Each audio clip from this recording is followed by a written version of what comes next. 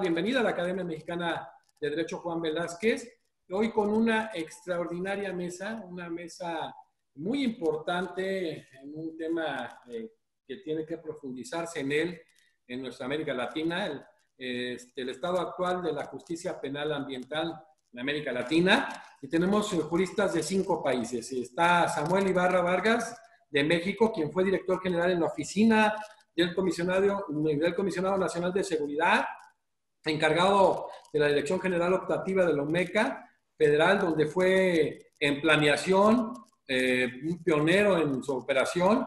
Eh, el doctor Blas eh, Matías Michinelli de Argentina, extraordinario jurista también, fiscal de la ciudad de Buenos Aires, en materia ambiental. La doctora Isabel de los Ríos de Venezuela, que hay que hacer la mención para ella son las 11 de la noche, ella está en Barcelona, es de Venezuela, que está hoy en Barcelona. Fue asesora de medio ambiente de la Fiscalía de la República de Venezuela, de la Comisión del Ambiente, de la Asamblea Nacional, corredactora de las principales leyes de Venezuela. Bueno, en materia ambiental, ¿qué podemos decir de cada uno de nuestros expositores? El doctor Ricardo Merlo Faella, de Paraguay, fue director de Defensa del Medio Ambiente y fiscal adjunto de los departamentos de Paraná y con Indiyú en Paraguay, el doctor Vladimir Pasos de Freitas de Brasil, profesor del programa de posgraduación de la Pontificia Universidad Católica de Paraná y ex secretario nacional de Justicia de Brasil. Es una gran mesa y bueno, vamos a iniciar con Samuel Ibarra Vargas de México y preguntarle a Samuel eh, precisamente si existe coordinación entre las autoridades ambientales y una Fiscalía Autónoma en México, Samuel es un, honor estar en medio de, autoridades eh, reales a nivel mundial en el tema de justicia ambiental y justicia penal ambiental.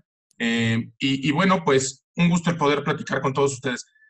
Pues lo primero que tenemos que decir en el, en el tema eh, de si en México hay coordinación, primero tendríamos que partir de que efectivamente en México tenemos una Fiscalía General de la República, pero también existen 32 entidades federativas con fiscalías o procuradurías generales de justicia en proceso de ser fiscalías. Entonces tenemos un total de 33 instancias destinadas a la persecución de delitos en México, una federal, 32 locales. En la federal existe un área especializada para delitos ambientales, que se denomina Unidad Especializada en Investigación de Delitos Ambientales y previstos en leyes especiales. Pero en el tema de las fiscalías locales, solamente nueve casos de los 32 contamos con áreas especializadas para perseguir delitos ambientales, lo cual nos hace ver como país que desgraciadamente no se le ha dado la importancia requerida al tema de delitos ambientales. Y esto es muy importante también considerarlo numéricamente hablando también a que en 31 de 32 entidades federativas tenemos tipificados delitos ambientales. Es decir, eh, si solamente hubiera nueve fiscalías locales con áreas especializadas para perseguir delitos ambientales, pero hubiera nada más nueve entidades federativas con delitos ambientales tipificados, no habría mayor problema. Pero hoy hay un déficit de 22 entidades federativas que deberían de tener fiscalías ambientales locales o direcciones de delitos ambientales o como se les quisiera decir, pero áreas especializadas en su estructura y no las hay. Y esto es muy importante porque México, al igual que eh, eh, muchos de los países ahorita que están representados con los extraordinarios juristas con los que tengo el honor de, compartir este espacio, eh, México es uno de los países megadiversos, es decir, es una parte de las naciones que en conjunto, eh, hay quien dice que son 10, hay quien dice que son 14, pero que reúnen el 70% de la diversidad eh, mundial de especies. Por eso se denomina país megadiverso. Entonces, entendiendo este contexto, pues empieza a ver que a nivel federal eh, sí hay un área especializada, pero como país todavía estamos muy rezagados en cuanto a, que podamos tener una adecuada procuración de justicia penal ambiental.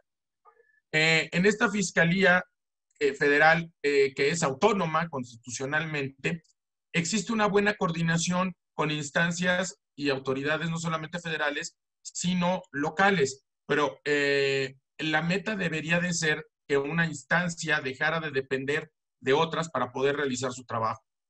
Y en esa virtud, bueno, hasta hace algunos años todavía no había peritos especializados en, la Fiscalía General de la República, antes Procuraduría General de la República. Ya hay peritos. Eh, la ley también eh, eh, establece la obligación de entregar dictámenes periciales o técnicos por parte de autoridades, instituciones académicas, centros de investigación. Y si bien existe una coordinación con otras autoridades, algo que está fallando en México y que está fallando tremendamente es la, la coordinación en la operación.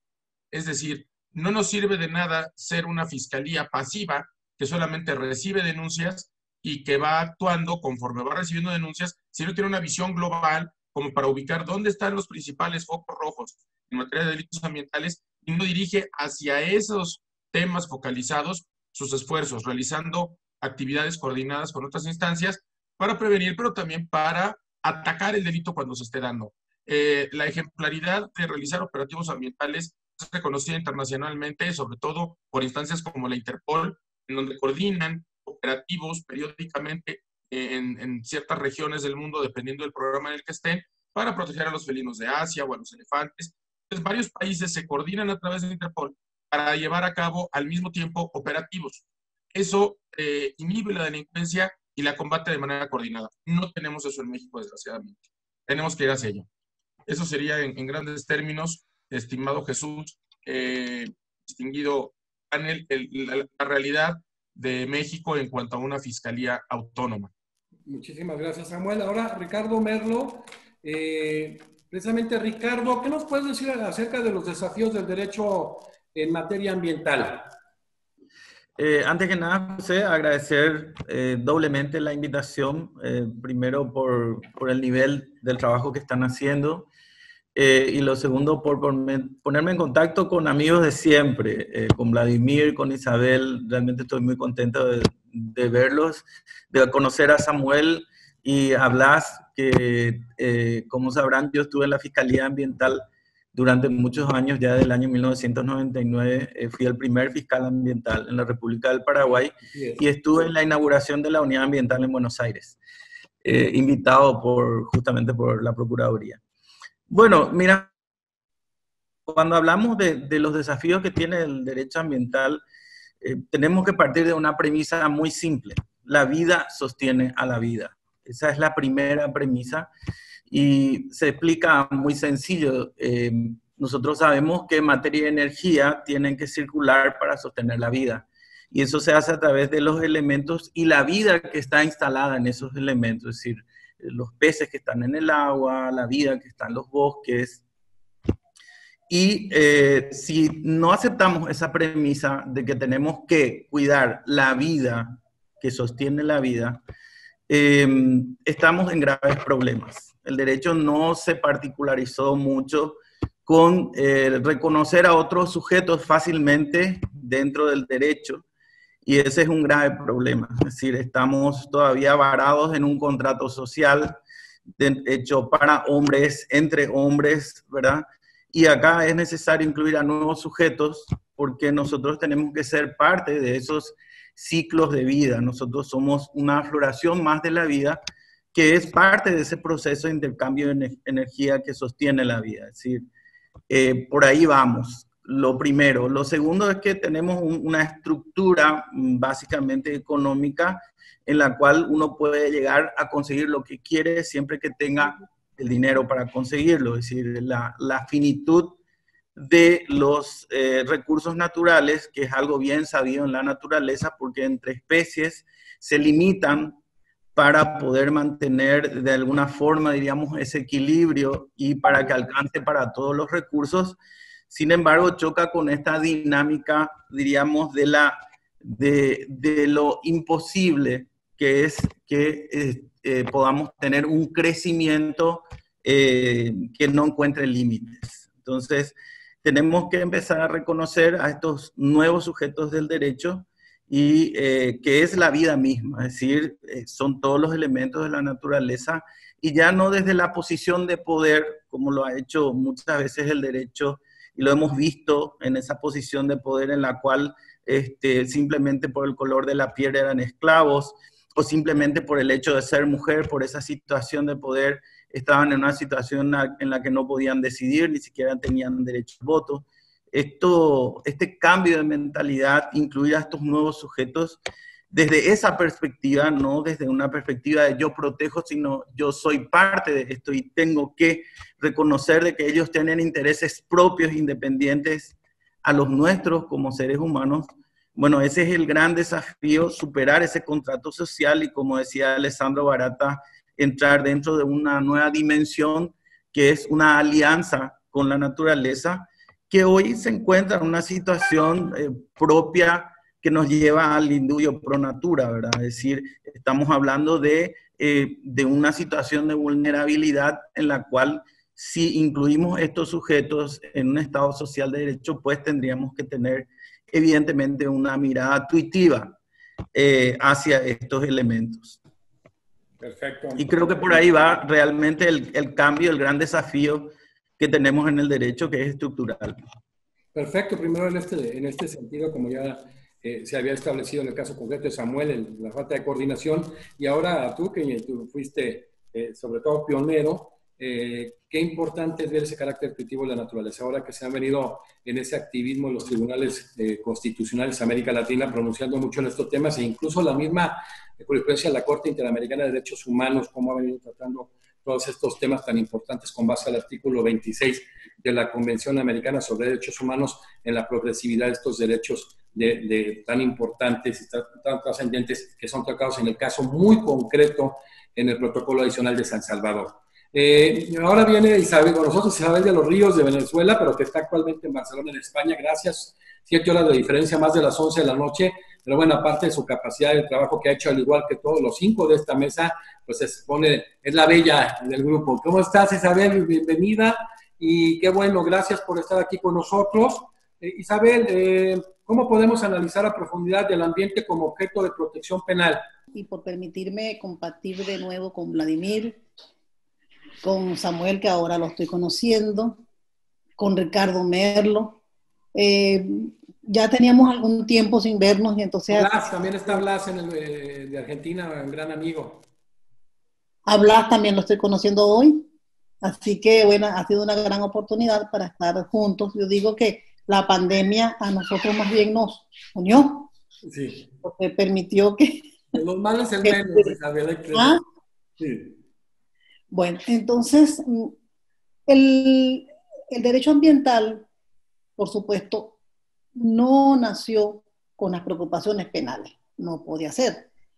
Eh, y comenzó con las preocupaciones más bien administrativas. Y claro, ese es un derecho que tiende, y, y, eso no dejará de ser nunca, a la prevención más que a la punición. Y eso llevó a que se negligenciara el derecho penal. Pero, este, pero esto es imprescindible, porque el derecho penal es el que le da credibilidad al resto de la normativa. Sin eso, pues ya no, es más, no hay derecho. Si, no hay la posibilidad de la sanción, eso sería una norma de otro tipo, pero no sería una norma jurídica. Entonces, el, derecho penal pues entró rezagado, por supuesto, y primero había que haber, bueno, eh, ya lo dijo bien claro, ser o no ser. Esa es la primera cuestión, la primera cosa. Eh, ser o no ser, hay o no hay derecho. Y después vamos a ver cómo vamos a, a protegerlo o a garantizar su cumplimiento cuando la prevención falle.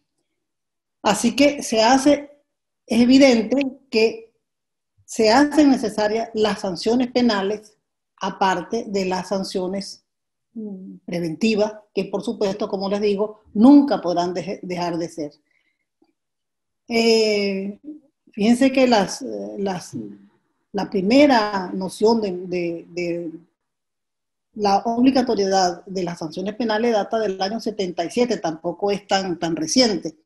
Y es una, y es una normativa de la comunidad europea. Entonces, y luego los otros países han visto también esa necesidad y hoy en día pues todos los países eh, tenemos unas, una reglamentación penal.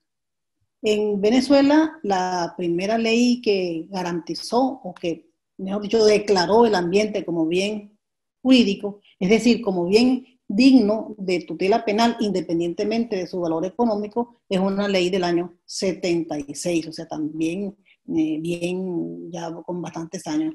Esta ley, que por suerte, porque realmente creo que fue una suerte, tuve la oportunidad de redactar, y luego la ley que la sustituye del año 2012, ya y no digo de suerte, sino por constancia, me tocó también redactar esta, esta última ley, ya por supuesto que recoge todos los avances en materia penal de los demás países.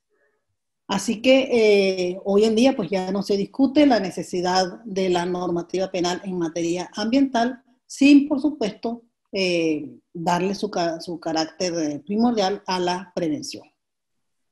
Pues suerte, si es como dijo Jaime Valves, que es cuando se cruzan el talento y la oportunidad, pues sí se da, Isabel. eres muy humilde, pero qué bueno que seas y que hayas sido una pionera y que todo el mundo reconozcamos tu gran trabajo no en Venezuela, sino en toda la región. Muchísimas gracias. Hola, doctor eh, Blas Mateas Vichinelli, un gran jurista de Argentina, bienvenido.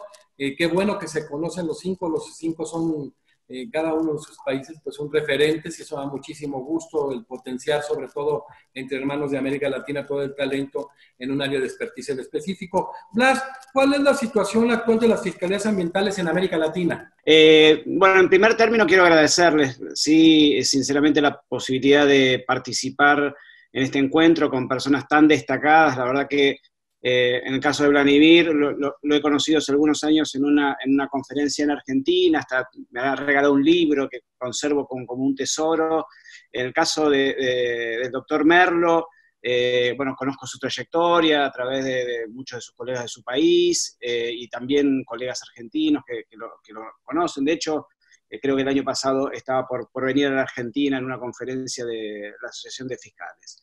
Así que también el caso de Samuel e, e Isabel, obviamente, bueno, los conozco obviamente por, personalmente en el caso de Samuel y, a Isabel, obviamente, como ustedes señalaban, por su repercusión.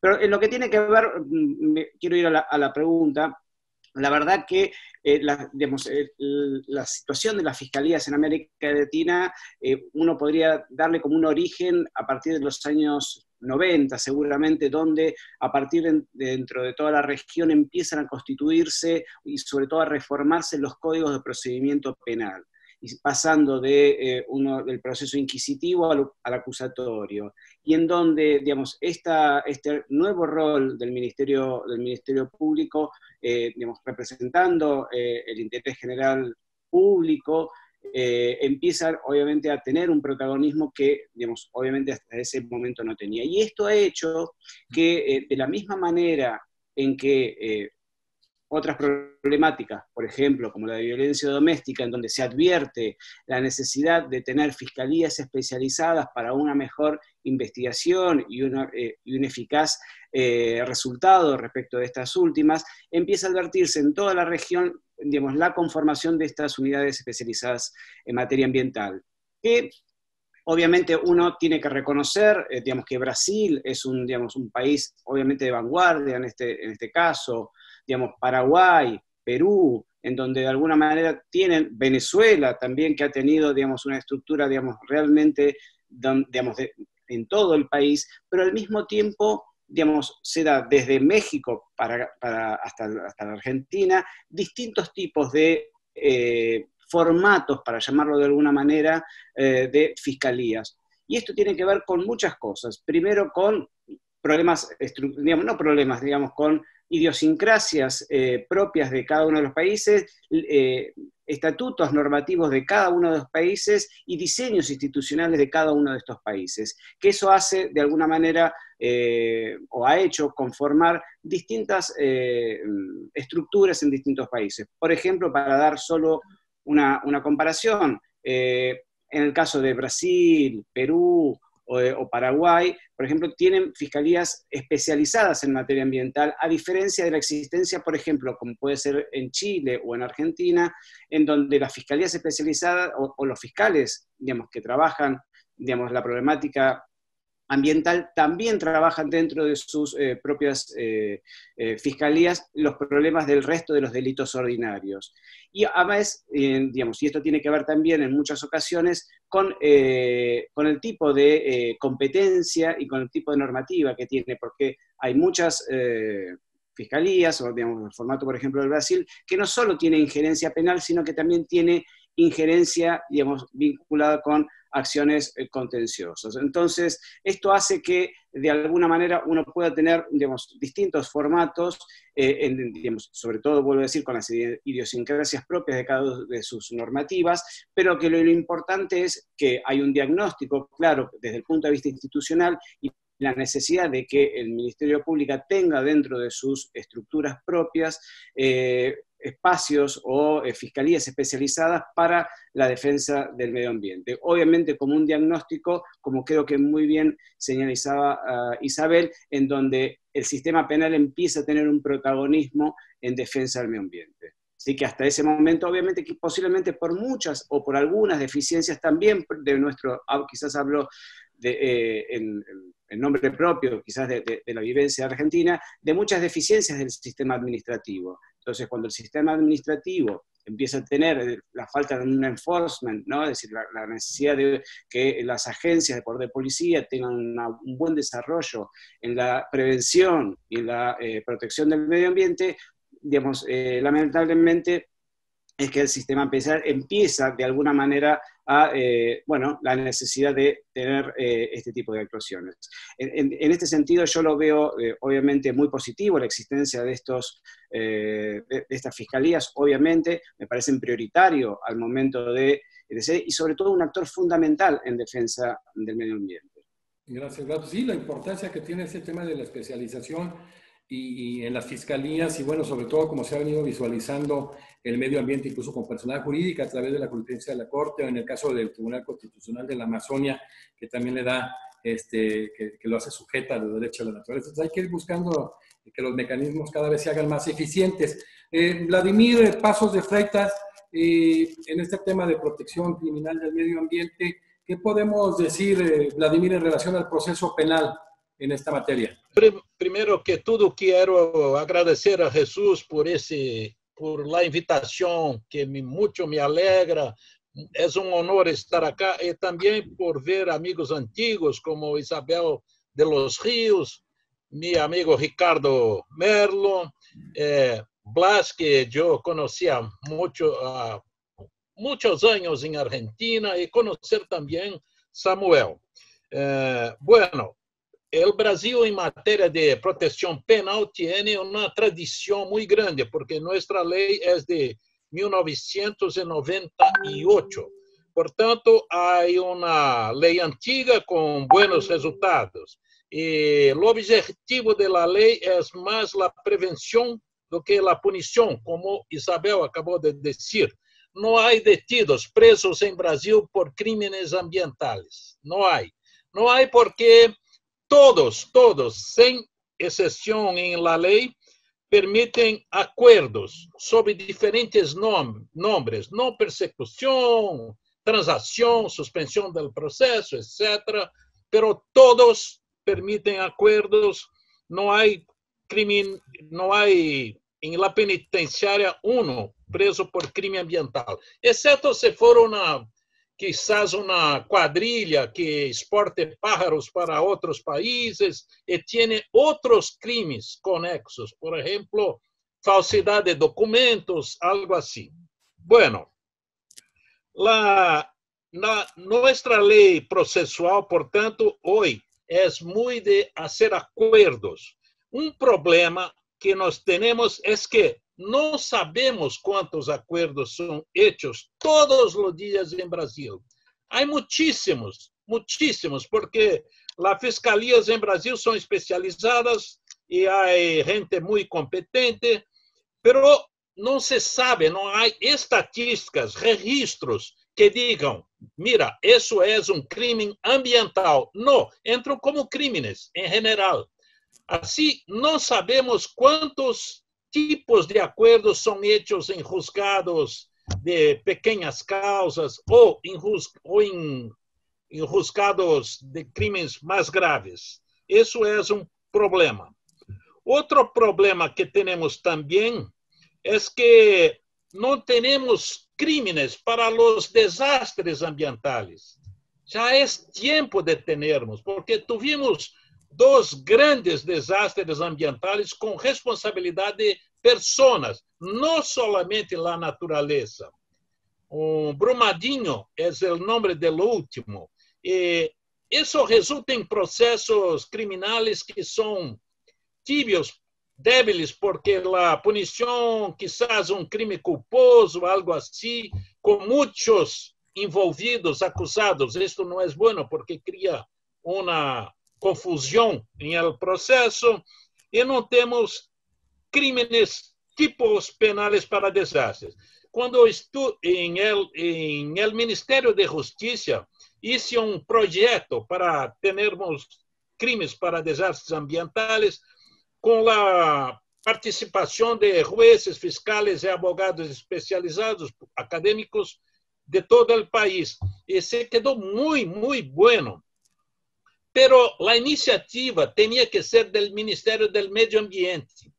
E não houve a iniciativa, aunque, tem, aunque tengamos tratado com a, los, as assessorias do ministro, pero finalmente não houve uma remessa para o poder legislativo. Isso é um lamentável.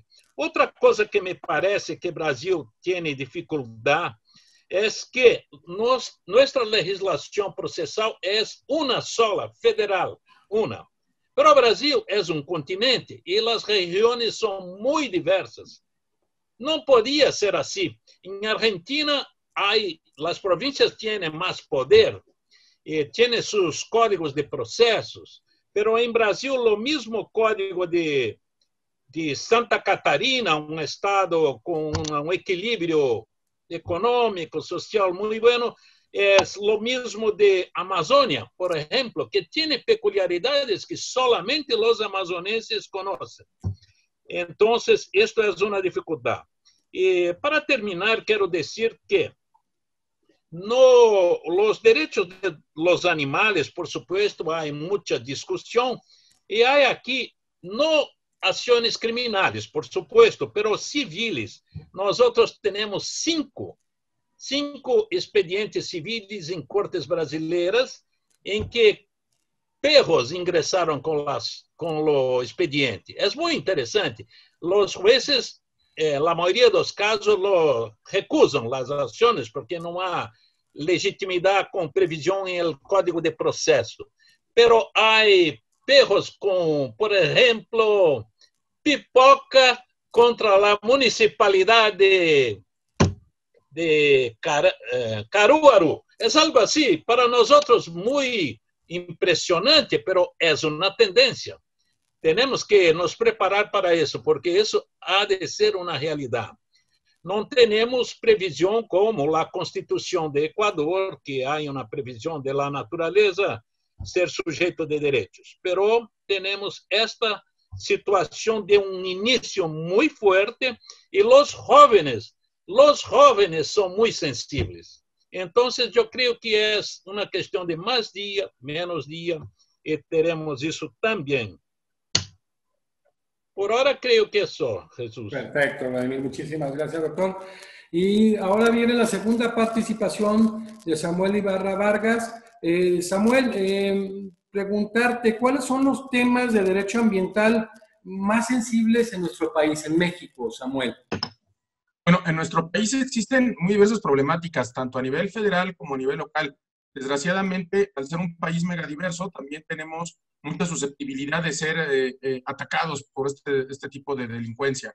bueno, primero, perdón por hablar de primera persona, pero eh, cuando fui fiscal de delitos ambientales en la Ciudad de México, me tocó encontrar primero algo que muchos capitalinos no conocíamos, que tenemos que proteger incluso hasta cascadas en la Ciudad de México, y esta es una invitación para, para venir a nuestra ciudad cuando podamos volver a la, a la nueva normalidad, un poco más más avanzado el tema de la pandemia.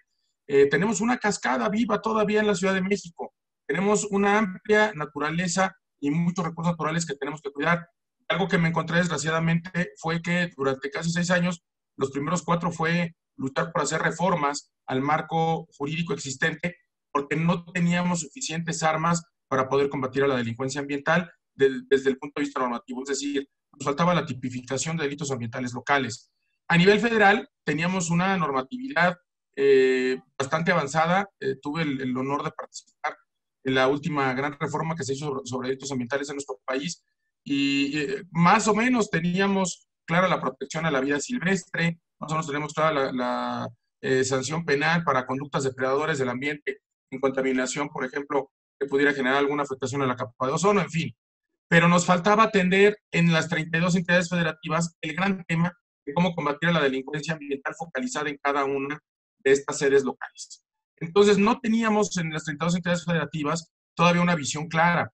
Eh, también, por lo mismo, eh, tuve el, honor de poder eh, coordinar la Conferencia Nacional de Procuración de Justicia con las entonces 32 procuradores de justicia locales y con la Procuraduría General de la República, lineamientos de política criminal ambiental, que dichos lineamientos son los que nos permitían poder entender cómo era la situación de la delincuencia ambiental en cada entidad federativa y ahora sí que literalmente de cada problemática local hacer una receta normativa y poder combatir a los delitos como era debido si el marco jurídico local no nos daba para eso.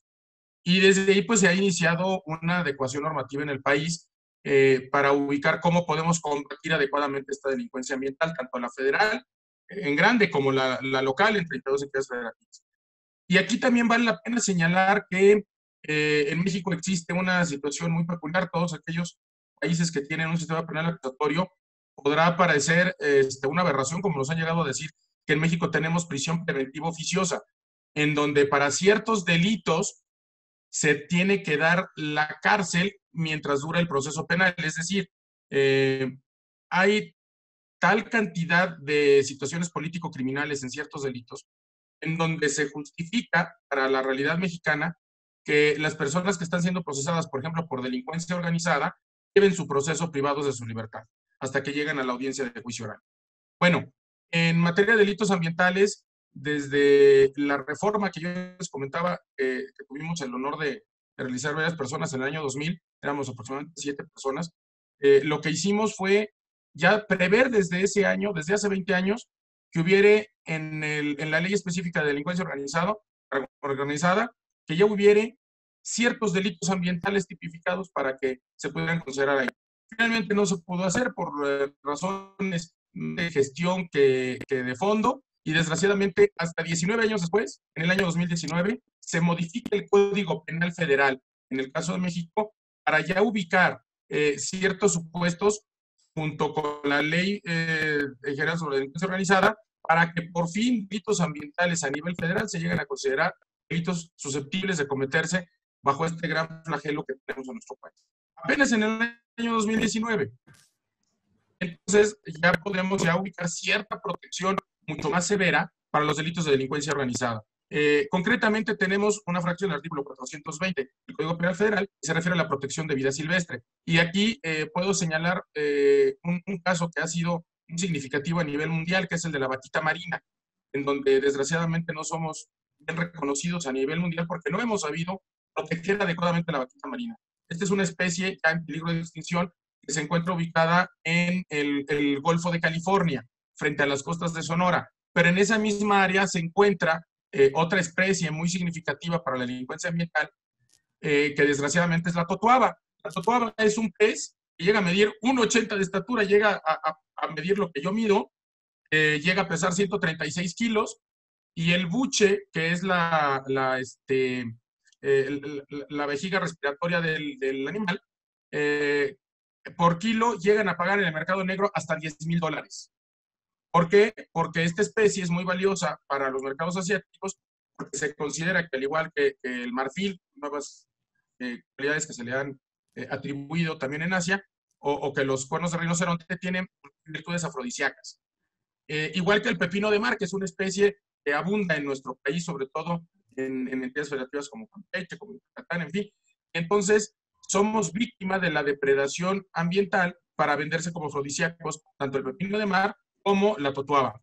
El problema con la totuaba es que coexiste en el mismo ecosistema marino de la vaquita marina. Entonces, por cazar a la totuaba, literalmente se llevan entre las redes a la vaquita. Esa es nuestra triste realidad. ¿Qué se tiene que hacer ante este tipo de, conductas? Lo que en cualquier otro de los países que hoy están aquí representados seguramente se ha hecho, que es realizar eh, acciones operativas para frenar a la delincuencia, ya sea en el ámbito penal, en el ámbito administrativo, pero se tienen que realizar acciones. Hoy no lo tenemos así. Hoy también en México tenemos una clara política de, permisión a la delincuencia organizada o a la delincuencia en general, que desgraciadamente también es ya bien conocida internacionalmente, eh, con esta famosa frase de abrazos y no balazos, pero también estamos viendo una inoperatividad, no solamente de las instancias que están destinadas a combatir a la delincuencia en general, sino también de las instancias que están destinadas a proteger a la naturaleza. Hoy, la Procuraduría Federal de Protección al Ambiente, que se encarga de la protección y de la observancia de las normas administrativo-ambientales en nuestro país, está frenada. Y ella es la que muchas veces motivaba la presencia de un ministerio público para que se pudieran hacer detenciones en flagrancia.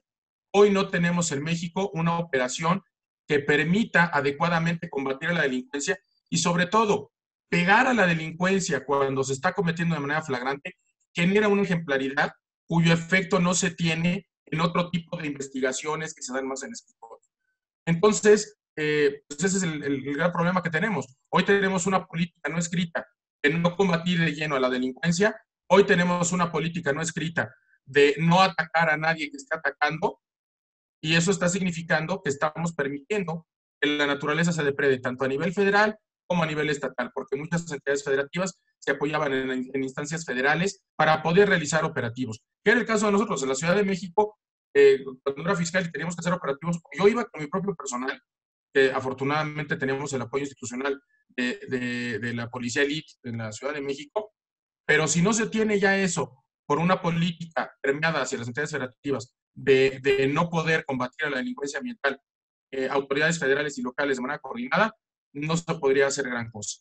Hoy nuestra realidad, por el marco jurídico existente, por la falta de ataque a la delincuencia, por la falta de combate o de repeler la delincuencia, nos está generando una inmovilidad que desgraciadamente está siendo permisible para que estemos acabando con especies en peligro de extinción, para que estemos favoreciendo que los traficantes de especies de vida silvestre y que los talamontes, que es un, fenómeno brutal en nuestro país y en la Ciudad de México, sigan cada vez creciendo. Eh, y en cuanto al maltrato animal, eso vale señalar por último, que es una fenomenología común en, Iberoamérica. Y en México, de las 32 entidades federativas, 30 tienen tipificado el delito de crueldad animal. Esto es una, una visión muy clara de que la bioética cada vez está permeando más a nivel de delitos ambientales. Claro, desde mi muy humilde punto de vista, eh, el delito de crueldad o maltrato animal no es un delito ambiental cuando se da en fauna domesticada, es un delito en materia de bioética. En el caso de la vida silvestre, la protección evidentemente cae en el ramo ambiental pero eh, en fauna domesticada es un tema más de bioética porque no tienen la afectación ecosistémica que se tiene, por ejemplo, cuando se depreda a, especies como la vaquita marina. Eso, eso es cuanto. Perdón por extenderme.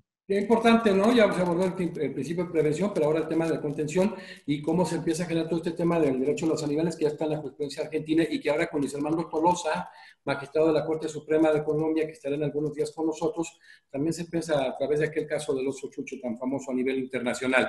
Eh, Ricardo eh, Merlo, ¿en, dónde se encuentra el problema en el cual eh, se sigue deteriorando el ambiente, Ricardo? La verdad que son muchos los temas pero lo que tenemos que entender que una vez que se, se destina la norma, eh, aquellos destinatarios de la norma tienen que cumplirla en todo momento.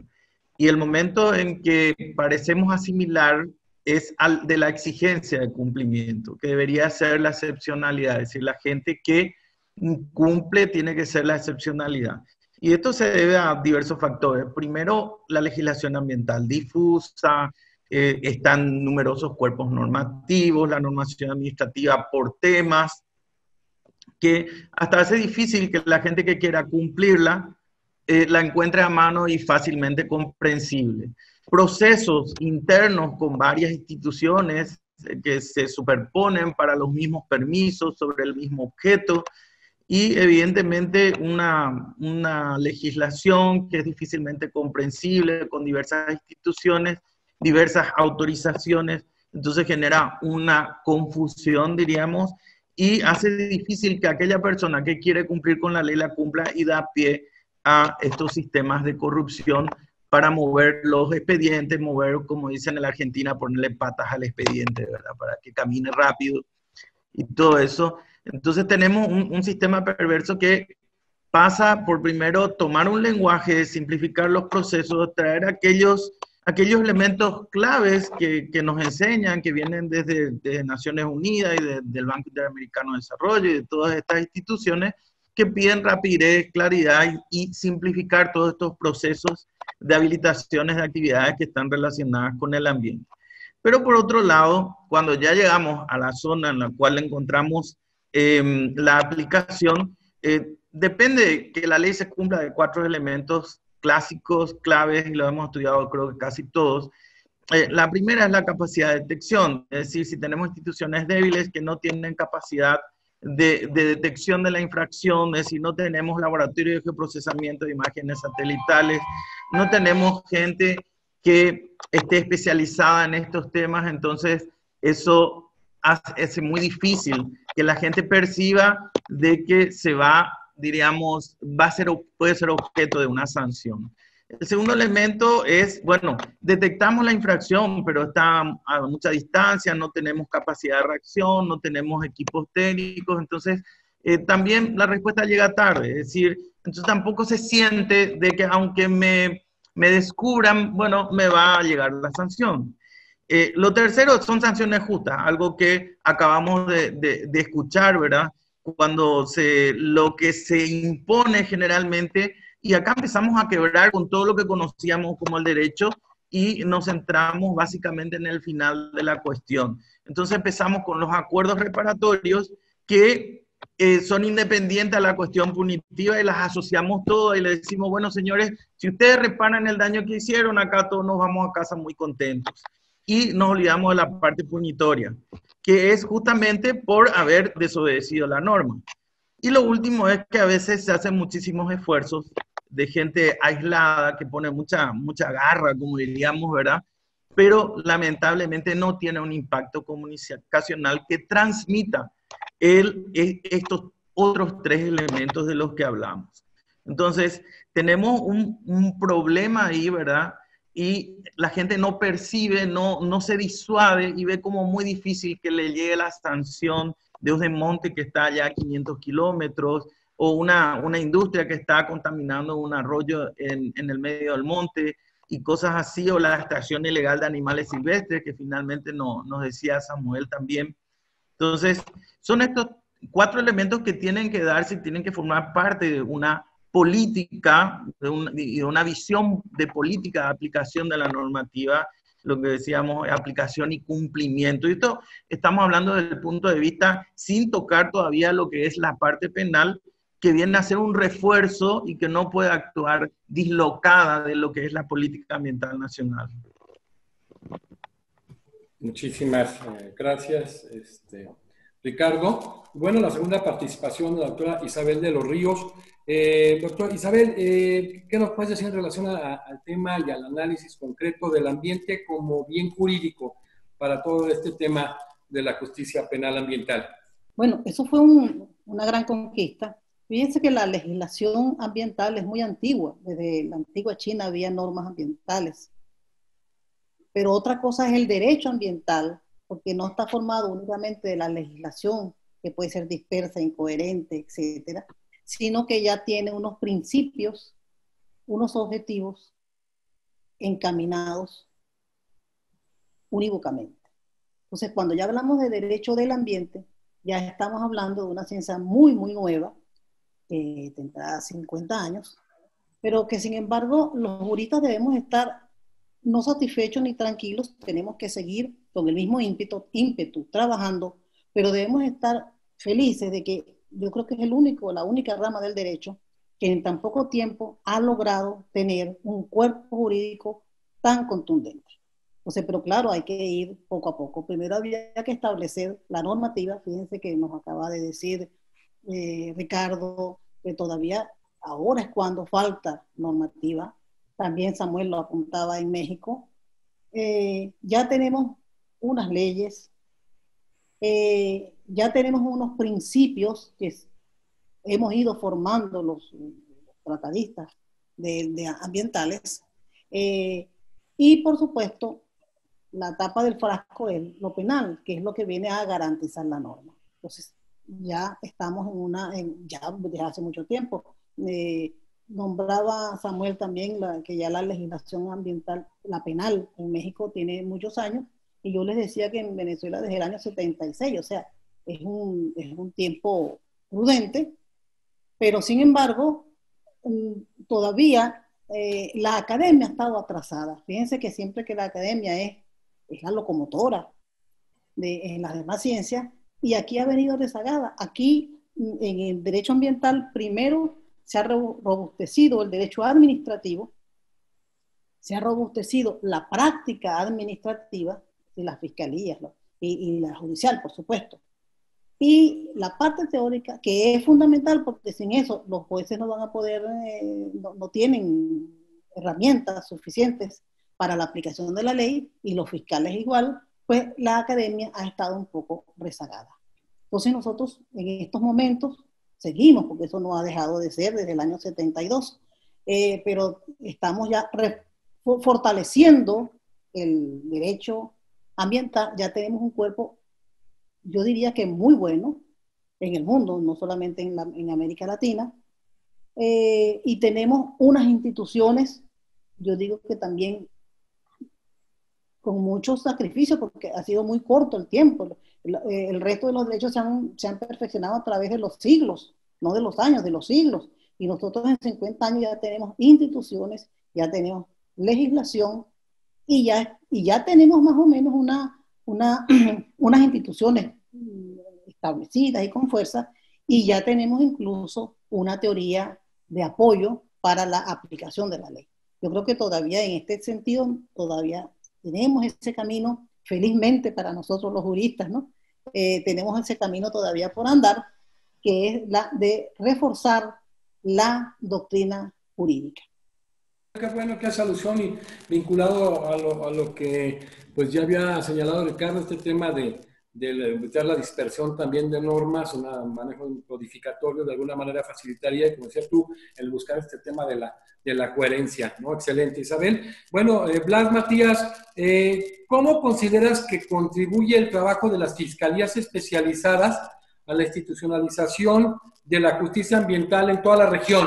Me parece muy fundamental, pero sobre todo me parece fundamental para países, por ejemplo, para un país como Argentina, en donde quizás la defensa del medio ambiente siempre estuvo enraizada en los abogados, los abogados que de alguna manera a través de acciones civiles, a través de acciones de amparo, digamos, peticionaban a las autoridades por eh, la protección de determinados componentes o recursos naturales. Y a mí me parece que eh, un poco cuando lo hablaba al primer término esta, esta idea de la eh, introducción de, de, los sistemas acusatorios, sobre todo de un, de un, rol, digamos, novedoso del Ministerio Público, esto para mí hace de una, y que de alguna manera asume, no de manera completa, porque creo que es importante también señalar que las ONG, digamos, la sociedad civil tienen un rol fundamental en esta idea de, también de la institucionalización de la justicia ambiental,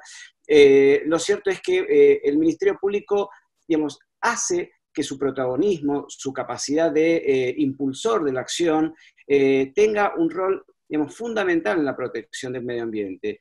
Y esto lo digo porque si recordamos un poco los orígenes de los movimientos de justicia ambiental, estaban justamente, eh, digamos, eh, orientados a estos grupos de personas que veían, eh, que se veían de alguna manera segregados, en donde en lugares en, sus barrios, por su condición social o por su condición racial, eran de alguna manera lugares en donde se instalaban digamos, fábricas o establecimientos con muchas eh, como consecuencias ambientales y sobre todo afectación a la salud. Y esto hizo que las propias, eh, digamos, las propias personas afectadas, no, ya las organizaciones ecológicas, sino directamente eh, gente que se veía afectada, víctima obviamente de ese tipo de actividad, de alguna manera se empezara a nuclear y esto generó muchísima digamos, muchísimos movimientos en los Estados Unidos. Por allí decía que, eh, digamos, que estos, estos movimientos arrancaron por los 80 y ya, digamos, en los 90 incluso la propia Agencia de Protección Ambiental reconocía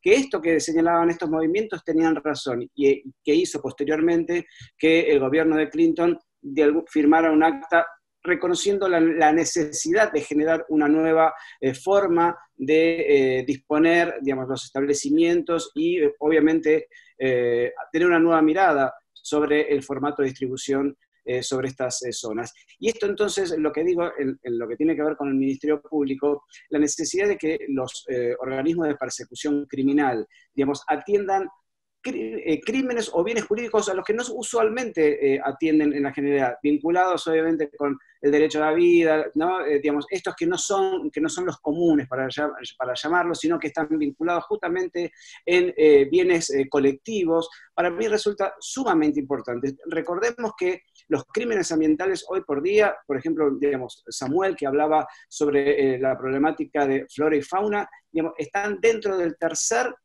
o dentro de los primeros cinco crímenes más redituables del de, eh, crimen organizado. Hoy por hoy el crimen organizado tiene una estructura mundial muy difícil y que, lamentablemente las agencias de investigación e incluso las agencias de, eh, los ministerios públicos un poco, siempre van rezagados, siempre van un poquito atrás, porque y además, sobre todo hoy, hoy por hoy, con las grandes eh, herramientas tecnológicas, en muchas ocasiones se hace eh, muy difícil. Por eso es necesario, digamos, de ministerios públicos eh, ambientales, sobre todo de interrelación, ah, digamos, el principio de cooperación, de hecho, de hecho, fue uno de los temas que el año pasado en la eh, en, la reunión de procuradores eh, digamos, mundial que se hizo en Argentina y que digamos, eh, justamente hablamos de esto, es decir, la necesidad de que los ministerios públicos tengan la necesidad de interrelacionarse para poder justamente poder obtener información rápida sobre casos y que tienen afectación ya no de un solo país, sino en diversos países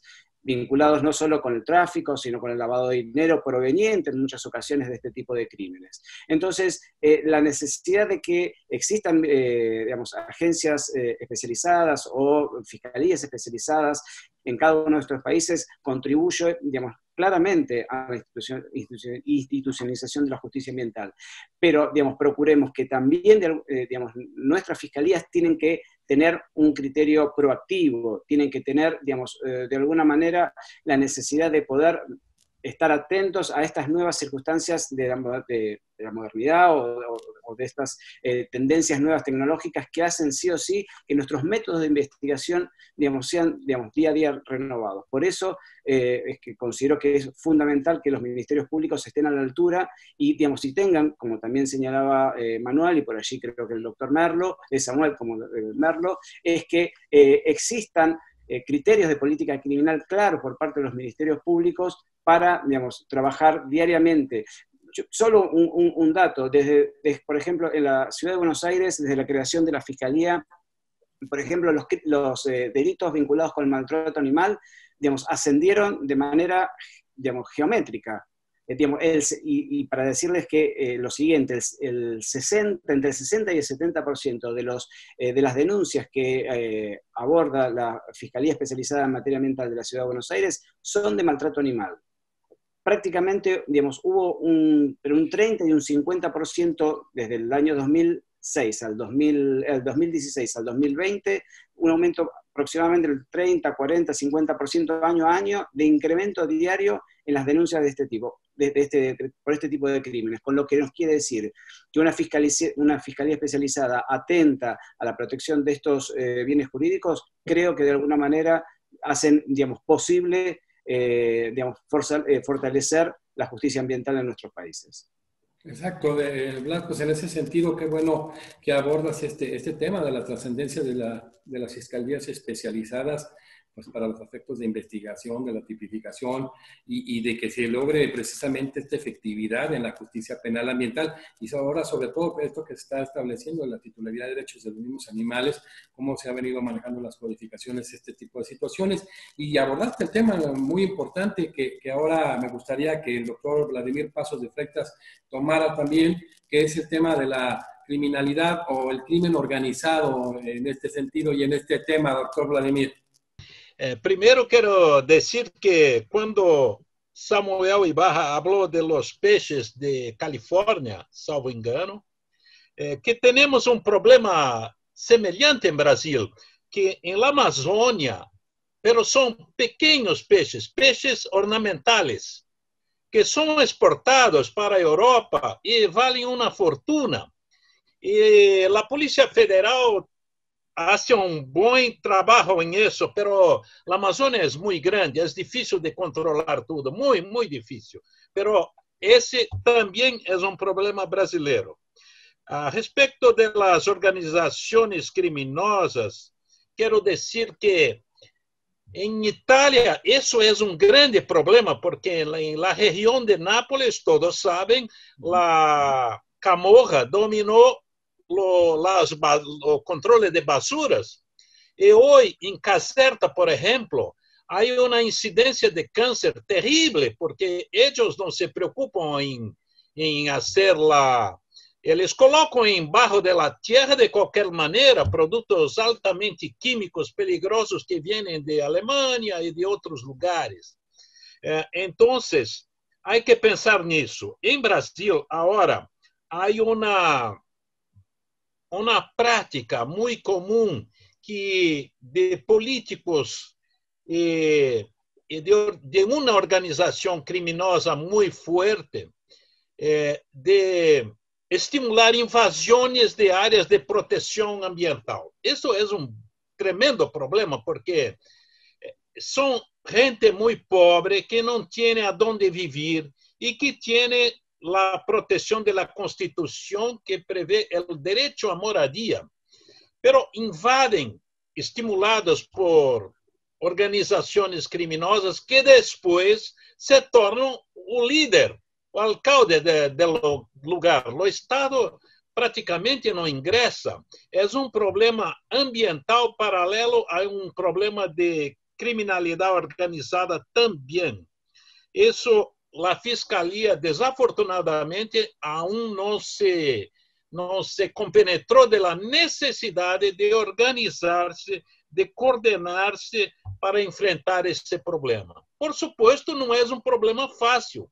É muito mais fácil e sencillo eh, acionar, processar uma pessoa jurídica, por exemplo, que tem uma organização mínima, que tem estatutos, etc. Pero isso de las áreas ambientais está se tornando cada vez mais um grande problema. Eh, queria dizer também que o Ministério Público, a Fiscalia, tem sim que relacionar-se eh, não somente a nível internacional, que por supuesto é importantíssimo, temos fronteiras com Argentina, Paraguai, Colômbia e outros países, e é necessário trabalhar juntos, sempre junto. Em esse sentido, está havendo uma, um progresso de Brasil com outros países, está se eliminando, está se trabalhando muito em la em la ciudad de Foz do Iguaçu há uma troca de cambio de experiências e de informações muito buenas. E tem que ser assim porque a criminalidade organizada, por exemplo, de Brasil está invadindo o Paraguai, criando muitos problemas em Paraguai. Isso é conhecido. E, então, é preciso trabalhar junto, a nível internacional, mas também a nível local. Por ejemplo, la Fiscalía de Medio Ambiente en, en una ciudad tiene que trabajar con la, la gente que entende de urbanismo, los fiscales que tratan de urbanismo, porque es completamente conjugado. Y tiene que trabajar también con los que tratan de la criminalidad organizada. Las fiscalías de criminalidad organizada para determinados crimes ambientais devem estar juntos. É, finalmente, quero dizer que não é bem de criminalidade organizada, mas é um problema brasileiro forte, como é em Paraguai. Ricardo Melo falou da confusão de los licenciamentos. Em Paraguai, supongo, órgão central e de departamento. En Brasil tiene algo federal, estadual y municipalidad. Y eso crea una inseguridad total para los emprendedores y también para los que quieren hacer la cosa bien hecha. Es un problema, porque obtienen una, una, una licencia en un órgano municipal, después lo estadual lo, lo pone. Y también para los que no quieren hacer bien hecha, es bueno porque crea una confusión que para ellos es siempre una ventaja. Uh, entonces, en, en, resumo, es esas las observaciones, Jesús. Y muchísimas eh, gracias, Vladimir. Y bueno, eh, ahora que se ha hecho hincapié eh, por parte de Blas, de Isabel, de Ricardo y de Vladimir en relación a estos temas de, delincuencia organizada, el tema de la coordinación, la manera en que todo esto se ha ido extendiendo, extendiendo en toda la región, el tema de la globalización, etcétera. Samuel, eh, ¿cómo se debe aprovechar en México, desde tu eh, postura, desde tu visión, la experiencia internacional en este tema precisamente tan importante de la justicia penal, eh, de la justicia penal ambiental? Evidentemente debemos de tener memoria histórica de lo que ha pasado ya el, el, doctor Vladimir Pasos, el doctor Ricardo Mero, la doctora Isabel, el doctor Blas, ya nos han mencionado antecedentes internacionales y antecedentes en sus países de protección al ambiente, no necesariamente desde la perspectiva eh, estrictamente penal. Y, aquí creo que vale la pena para entender cómo, cómo adoptar o cómo asimilar esta experiencia internacional. Tenemos que partir, e, efectivamente, como comentaba la doctora, desde hace más o menos 50 años, ¿no? Desde aquella convención en Ramsar, en, Irán, en 1971, pasando este, por la conferencia de las Naciones Unidas sobre el Medio Ambiente Humano en el 72 en Estocolmo, famosísima, la Convención sobre el Comercio Internacional de Especies Amenazadas de Fauna y Flora, CITES, que fue en el 73, eh, eh, la Cumbre de la Tierra en el 92, el Protocolo de Kioto sobre Cambio Climático en el 97, la cumbre del milenio en el 2000, la cumbre de Johannesburgo en 2002 sobre desarrollo sostenible, en la Asamblea General de la ONU en su Agenda 2030 con los Objetivos de Desarrollo Sostenible apenas en el 2015, también en el 2015 los Acuerdos de París y ya más recientemente en 2019 la Conferencia de la ONU sobre el Cambio Climático. Es decir, todas estas eh, reuniones, convenciones internacionales que se han dado y que han generado documentos que hoy se aplican en la parte administrativa a nivel global, nos debe de servir como una referencia de que internacionalmente hay ciertos temas ambientales que son prioritarios y a los que se les tiene que tutelar tanto desde la perspectiva administrativa, eh, desde la perspectiva eh, constitucional, porque muchas veces se requiere que la Constitución prevea mecanismos para asimilar estos tratados internacionales a derecho interno, pero también desde la perspectiva penal. Eh, hoy existe un convenio sobre la diversidad biológica, por ejemplo, del año de 1992, con, con derivado de la Cumbre de la Tierra, en donde existen ya claras disposiciones penales que protegen a la biodiversidad, considerando estos esfuerzos desde el año 92. Eh, hoy se protege también el, tema, en algunos países tenemos tipificado el delito de bioseguridad, derivado del protocolo de Cartagena sobre seguridad de la biotecnología eh, del año 2000, en fin, todo, esta, eh, todo este cúmulo de, de tratados, de convenciones internacionales, nos deben de hacer ver la protección al ambiente como una prioridad global, no solamente nacional. Y ahí tenemos que enfocarnos a su tutela y protección desde distintas ramas del derecho, no estando el derecho penal ajeno a ello. Pero también es importante ya comentar que no solamente a nivel de tratados internacionales y de experiencia internacional en materia ambiental, sino que también existen eh, antecedentes de justicia penal ambiental en el ámbito internacional. Es decir, qué tan importantes serán los delitos ambientales que la propia, la propia ONU, dentro de, dentro de esta Comisión de Prevención del Delito, eh, normalmente se enfoca el tema de drogas, y que ha tocado el tema de cuáles son los, los negocios de la delincuencia más redituables económicamente, como bien comentaba el doctor Blas, pues tenemos desgraciadamente al tráfico de especies seguido únicamente este, en tercer lugar después del tráfico de armas y el tráfico de droga. Imaginemos eso, ¿no? Eh, todavía el tráfico de personas está llegando a los niveles de tráfico de especies de vida silvestre. Es decir, tenemos graves problemáticas que se han adoptado desde una perspectiva ya penal ambiental. Y eh, la ONU tiene destinado un, grupo precisamente sobre los delitos ambientales. Y lo mismo, lo mismo se puede decir de, de, la Interpol. El secretario general de Interpol, en su informe 2014, que es muy famoso, ya señalaba la importancia de considerar la delincuencia ambiental global. y, debemos de considerar que, si ya se, que si ya se tiene contemplado una delincuencia de esta magnitud globalmente por la propia Interpol, bueno, eso es un antecedente para que en México también debamos mover ciertos temas desde la perspectiva de una justicia no solamente ambiental, sino justicia penal ambiental. Y también podemos perfeccionar las habilidades de nuestras propias autoridades gracias a esta experiencia internacional. Eh, la Oficina de, de, de, las Drogas y el Delito de las Naciones Unidas, UNODC, eh, ha emitido públicamente, por ejemplo, manuales de tráfico de, especies protegidas, eh, herramientas para análisis de los delitos contra la vida silvestre y los bosques, y se han realizado varios programas en la Interpol, por ejemplo, eh, para proteger a los felinos en Asia, para proteger a los, a los elefantes en, en África, el proyecto Wisdom, por ejemplo, y para proteger ecosistemas marinos y para proteger incluso los árboles, el proyecto LEAF, los ecosistemas forestales y también incluso para sancionar la contaminación de residuos, que eso es algo muy interesante, que también son programas que ha tenido la Interpol permanentes desde hace eh, más de una década. Entonces, ¿cómo podemos adoptar todo esto que se está haciendo en el mundo? Pues tomando las experiencias de otros países, reconociendo nuestra calidad como un país megadiverso y las graves problemáticas que implica la depredación ambiental, para poder así combatirla no solamente desde la perspectiva administrativa, sino desde la perspectiva penal, porque debemos de considerar que el derecho es la última instancia. Yo preguntaría si no estamos ya en esa etapa para proteger a la naturaleza, cuando tantos esfuerzos por el derecho administrativo no han sido suficientes para frenar el deterioro ambiental en el mundo. Y creo que podríamos con eso coincidir. Eh, en muchos países que la justicia penal ambiental está siendo una herramienta de combate eh, después de haber utilizado múltiples herramientas y operativos desde la perspectiva administrativa.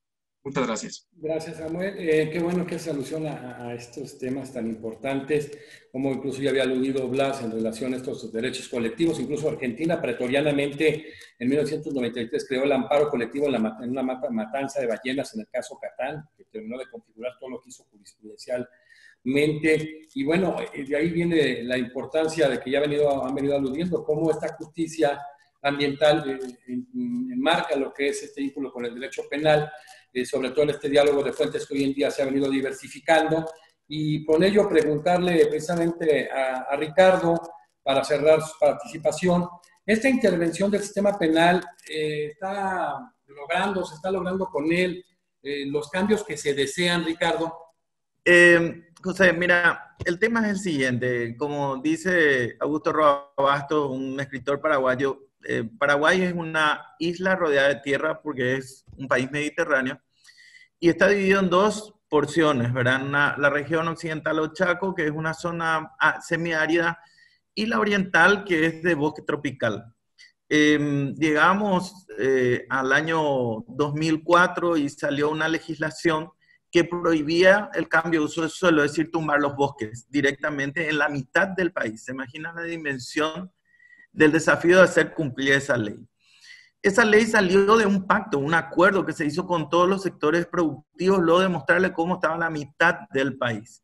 Se bajó eh, de 140 mil hectáreas año de desmonte a menos de 6 mil. Es decir, logró un cumplimiento de casi el 90 al 95% de, eh, de cumplimiento acatamiento de la norma. Entonces, a partir de ahí, ¿qué es lo que se ha tratado de hacer? Se ha tratado de generar un, enlace entre la política ambiental nacional y una política de persecución penal en la cual se ponen bases y estrategias de trabajo, como por ejemplo la recuperación de las cuencas hídricas, eh, la recuperación de ciertos bosques, ¿verdad? Y eh, se, inicia un proceso de diálogo, incluso eh, luego de un de, diríamos, de tener el diagnóstico de cómo está esa cuenca hídrica y puede ser que los hechos hayan sucedido antes de la vigencia, que es del año 1996, la ley de delitos y crímenes ambientales en Paraguay, y esos van a la parte administrativa. Lo otro continúa con la parte penal en un proceso incluso de presentación voluntaria, en el cual se baja en el lugar y eh, se advierte de que se tiene mapeado los daños ambientales y los productores se presentan voluntariamente para saber cuál es su déficit de cobertura boscosa que les falta. Eso eh, se hizo ya en varios lugares, logrando casi un 95 o un 98% de recuperación de los bosques. Eh, en e, este tipo de, de, actuaciones en las cuales vemos, un, digamos, una coordinación en base a un trabajo previo de diagnóstico en el cual sabemos a dónde queremos llegar, porque finalmente eh, los resultados van a ser medibles dentro de las actuaciones eh, entrelazadas, como decía, entre la parte administrativa y la parte ambiental. Y vamos a, a la cicatrización, diríamos de alguna forma, de las heridas del daño ambiental. Entonces, lo que tenemos que lograr que el sistema penal no sea el inicio de la cadena de respuesta, sino que actúe al final para dar el sello, como decía Isabel, de la protección. Y bueno, te cierro esto, José, con, con, con esta idea de que también tenemos que seguir aplicando eh, cuando hablamos de una respuesta o de una justicia ambiental, toda la, todo el bagaje de respuesta al daño ambiental, desde la parte administrativa, la parte penal y lo que sería la recomposición e incluso el resarcimiento a la comunidad por la pérdida de bienes y servicios ambientales que producen estos recursos eh, naturales. Excelente, muchísimas gracias Ricardo. Eh, ahora eh, con Isabel de los Ríos, tú has participado en, tu país en un sinnúmero de leyes ambientales, bueno, digamos casi en todas, y preguntarte, Isabel, en toda esa gran experiencia, en tu participación en la generación doctrinaria, gracias a tu trabajo, la consagración, esta consagración del ambiente en leyes penales genera eh, la respuesta deseada. Ya de Ricardo ya avanzó en algunas cuestiones y bueno, señala que no, no, es la única. ¿Tú qué consideras en este sentido, Isabel? Una de las diferencias, que son muchísimas, del derecho ambiental y las demás ramas jurídicas, es que en, el, en las otras ramas el derecho es producto del cambio. Nos enseñaban nuestros maestros que la, el derecho siempre era una camisa que le quedaba corta a la sociedad y cada vez que había un paso social, la legislación tenía que irse adecuando. El derecho del ambiente es más que producto del cambio, es factor de cambio. Claro, donde no había nada, cuando llega una ley, ella va a producir un cambio social, que eso es sumamente importante. Entonces, yo creo que, eh, fíjense, los que estamos aquí presentes, unos trabajan en la fiscalía, en la judicatura. Yo, bueno, en este momento no, pero estuve trabajando muchos años en la parte legislativa, por eso me tocó en suerte la redacción o por lo menos colaborar con los equipos de trabajo que iban a, que redactaron todas las leyes ambientales que hay en Venezuela. Pero paralelamente, todos nosotros nos dedicamos a la doctrina, somos autores de libros, eh, trabajamos en la, en la, universidad. De nosotros está dependiendo esa parte teórica que también es fundamental. Eh, esa parte teórica hace los cambios, los cambios en, en la práctica. Por ejemplo, eh, hace ya de eso muchos años, felizmente, para actuar en justicia, para accionar en justicia en Francia, había que hacerse valer de las ONG de pescadores. Las asociaciones de pescadores podían ir a la justicia porque ellos podían, en caso de una contaminación de un río, ellos podían alegar, una pérdida económica. Si no había una pérdida económica, no había posibilidad de accionar en justicia. Hasta que, como esa pregunta que usted me, dijo, me hizo, eh, el ambiente fue declarado como bien jurídico. A partir de allí, que el ambiente es digno de tutela penal, se puede accionar en justicia independientemente de, que, de su valor económico. Entonces, no es que vamos a proteger la, la, vaquita marina porque valga tanto, porque aunque no valiera nada, económicamente, ahí está el, el detalle, aunque no valiera nada económicamente, el valor que va a significar para, los, para el ecosistema, para la vida en general, nuestra y, la de los, la misma vaquita, es, no, es cuantioso, no se puede, es inconmensurable, no se puede medir.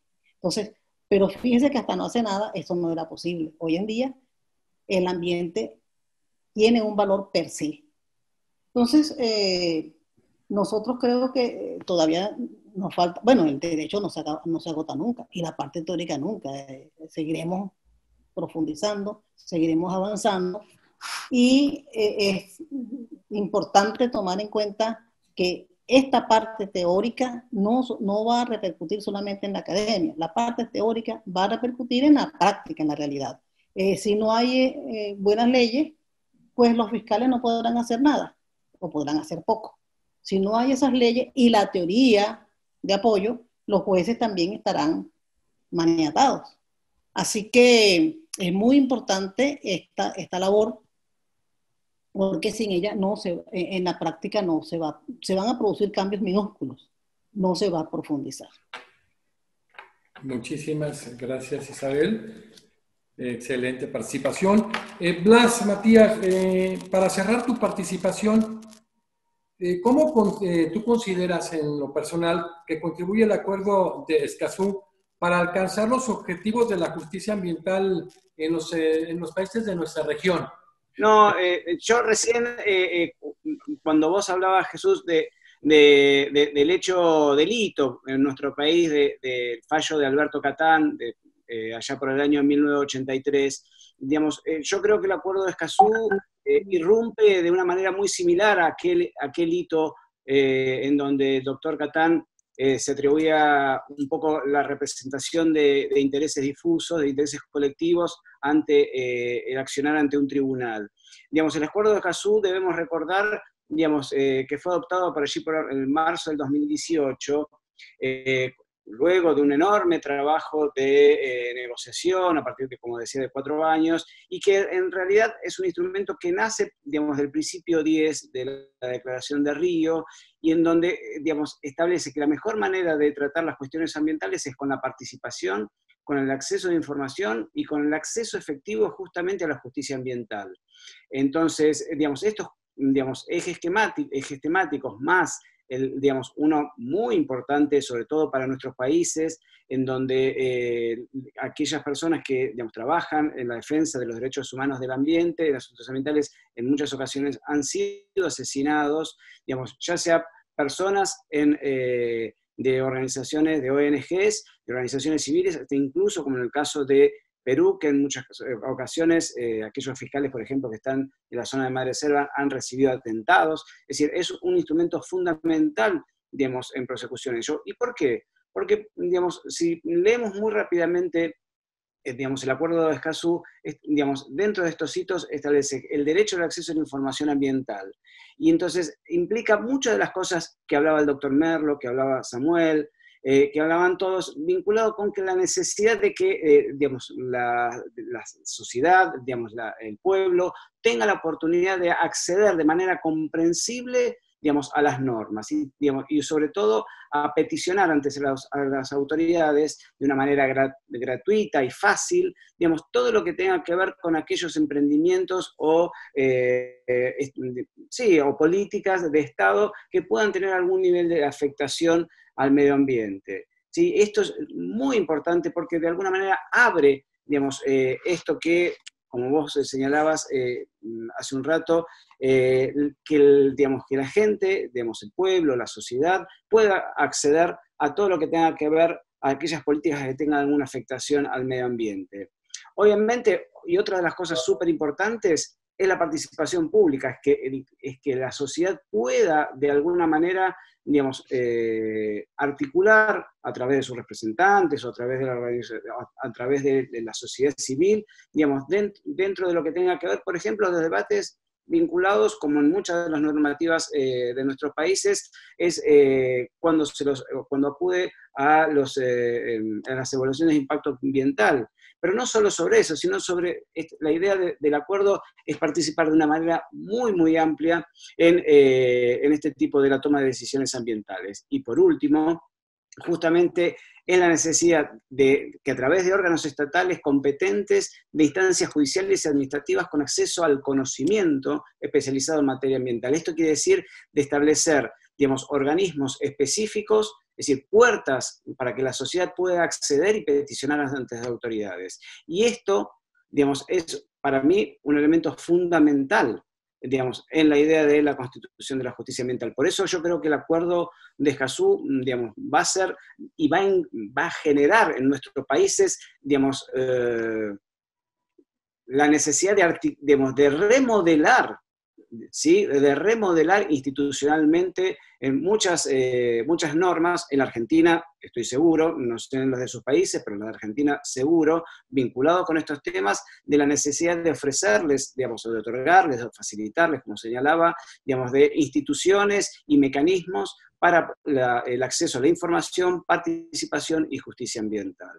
¿Sí? Y obviamente también mecanismos de protección para aquellas personas que eh, trabajan en defensa del medio ambiente. Por eso me parece que es un, acuerdo que debemos eh, tenerlo de cerca y bueno, seguramente próximamente eh, espero que podamos tenerlo como vigente en nuestros, nuestros países. Nada más. No, excelente, este, Blas, qué importante es hablar de este tema de cómo se tienen que adecuar los contenidos del derecho internacional de derechos humanos y que a final de cuentas pues debe haber una eh, una reestructuración y remodelar específicamente en todos estos temas para lograr la efectividad en, este tema de la justicia penal ambiental. Para cerrar, el doctor eh, Vladimir Pasos, eh, preguntarle en este, ya se ha visto pues aquí a través de todos los expositores, pues un sinnúmero de, de temas en el crimen organizado, el tema de la coordinación, los ajustes que tiene que ver el derecho internacional, eh, preguntarle, eh, ¿se, ha, ¿se ha logrado precisamente la protección criminal del medio ambiente en nuestra región? Com certeza. Hay la, la protección criminal, por, por supuesto, no es la, la mayor. La mejor es que la administración sea efectiva, tenga estructura, tenga gente bien paga. Pero la protección ambiental eh, é, tido um, um rol muito importante em Brasil, porque são muitíssimas ações grandes e a jurisprudência hoje é muito severa. Por exemplo, os instrumentos do crime ambiental agora em Brasil são declarados perdidos. Eh, em el passado um, havia uma jurisprudência conservadora porque dizia que la propiedad no se puede, que sería un confisco la apropiación de un, de un vehículo utilizado para transporte de árboles, por ejemplo, transporte irregular, por supuesto. Pero me parece que hay dos cosas muy importantes para que la efectividad sea completa. Eh, en Brasil hay milhares de ações civis públicas com sucesso, etc. Pero é muito importante que os tribunais sejam efetivos, a eficiência. Por exemplo, a Argentina agora, a Corte, eh, há 10 dias mais ou menos, decidiu a respeito de um de incêndio florestal em la região de Entre Rios, com muita rapidez e eficiência, dizendo que eh, a província de Entre Rios e uma outra correntes, creio eu, deviam fazer isso, isso, isso, isso. Uma decisão muito interessante, muito objetiva, direta e rápida, muito boa. É preciso que os tribunais tenham eficiência, que isso seja apurado em estatística, que os trabalhos acadêmicos estudem a jurisprudência de la Suprema Corte del Tribunal del país ex ou outro, ou, ou mesmo, às vezes, uma justiça de primeira instância, porque muitas vezes uma liminar, uma decisão imediata, cautelar, é tão importante quanto a decisão de um magistrado de uma corte. E outra coisa que me impressiona muito também, e isso há muito em Brasil, são decisões civis que não são executadas, porque não há como executar. Por exemplo, se decreta a demolição de uma casa que está parcialmente ou toda em área de proteção ambiental. Isso é uma realidade. Há mais de 300 decisiones solamente de la corte a que pertenecí, que es federal de la cuarta región, a más de 300 decisiones ordenando la demolición de casas construidas en lugar prohibido. Pero, ¿quién va a hacer la demolición? ¿Quién? ¿Cuándo? ¿Con qué recursos económicos? Eso es un problema. El juez puede decir, pensar solamente que decidir es assinar, firmar uma decisão. Ele, ele depois, quem vai fazer? Se ele depois não se executa, é uma desmoralização total da justiça. Isso tem que ser evitado. Há que ter, então, estudos acadêmicos e também decisões administrativas. Os jueces têm que pensar em isso. E, por exemplo, muitas vezes um acordo com uma pessoa, com uma pessoa, persona que, que hizo una obra irregular puede ser mejor do que ordenar una demolición que no sea cumplida. Y eso tenemos muchos ahora. Bueno, hay mucho que hacer. El derecho ambiental es un derecho en evolución, un derecho de preguntas, no de respuestas. Pero o que hacer é isso que estamos fazendo agora, trocando ideias, experiências e tentando sempre melhorar. Gracias. Muchísimas gracias, doctor Vladimir. Qué bueno que hace esta alusión de cómo debemos estar inmersos en un análisis profundo de la jurisprudencia. Ya lo platicábamos con Blas en relación a ese caso de Alberto Catán, donde se establece con base al artículo 36 de la Constitución argentina, la más longeva de América Latina, en 1853, eh, eh, esto de los derechos implícitos vinculados al 41 del medio ambiente, cómo se logró en ese momento precisamente el derecho de las personas al desarrollo sustentable y ahora en caso del, Tribunal Constitucional colombiano y demás, se ha venido hablando de los derechos precisamente de los animales y otros temas en el caso de la personalidad jurídica del medio ambiente que incluso lo ha manejado la Corte Interamericana de Derechos Humanos. Entonces es un tema eh, sumamente importante abordado por cinco expertos. Agradecemos precisamente hoy la participación de Samuel Ibarra Vargas de México, quien fue director general de la Oficina del Comisionado Nacional de Seguridad, encargado de la Dirección General Optativa de UMECA, eh, el doctor Blas Matías eh, Michelis de Argentina, fiscal de la Ciudad de Buenos Aires, excelente participación. Gracias, Blas. La doctora Isabel de los Ríos de Venezuela, que hoy está allá en, España, eh, asesora del medio ambiente, de la Fiscalía, de la República, de la Comisión del Ambiente, de la Asamblea Nacional, corredactora de un sinnúmero de leyes, sino de todas en materia ambiental en Venezuela. Muchísimas gracias, una extraordinaria participación. El doctor Ricardo Merlo Vela de Paraguay, quien fue director de Defensa del Medio Ambiente y fiscal adjunto de, de varios departamentos en el Paraguay. Y del doctor Vladimir eh, Pasos de Freitas, quien fue magistrado presidente federal, profesor del programa de posgrado de la Pontificia Universidad Católica del Paraná y quien fue secretario nacional de Justicia de Brasil. Una mesa extraordinaria que creo que a través de, todo este trabajo, de, en, esta, en, en el caso específico de esta mesa de análisis con cinco expertos de diversos países que nos dan una visión tan importante de lo que viene sucediendo en el tema de la región, que hoy hubiéramos abordado de manera tan profunda lo que es el estado actual de la justicia penal ambiental. Muchísimas gracias a todos y nos vemos en la siguiente mesa.